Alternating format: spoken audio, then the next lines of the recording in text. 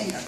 Because both genders have their genitals hidden inside their body, even, yeah, I know, I'm the one that picks you up and takes you to That's a, that's a, that one's spunky. That one's spunky. Basically, the male equipment comes out when it's needed, disappears right away.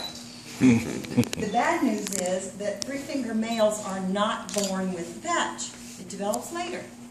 So I hmm. helped raise two little, what we thought were females, Layla and Sunshine. And uh, they were like two years old, and all of a sudden patches popped out. So now it's Laylo and Mr. Sunshine. Now, Toyota is missing his left arm at the shoulder. He has no left arm.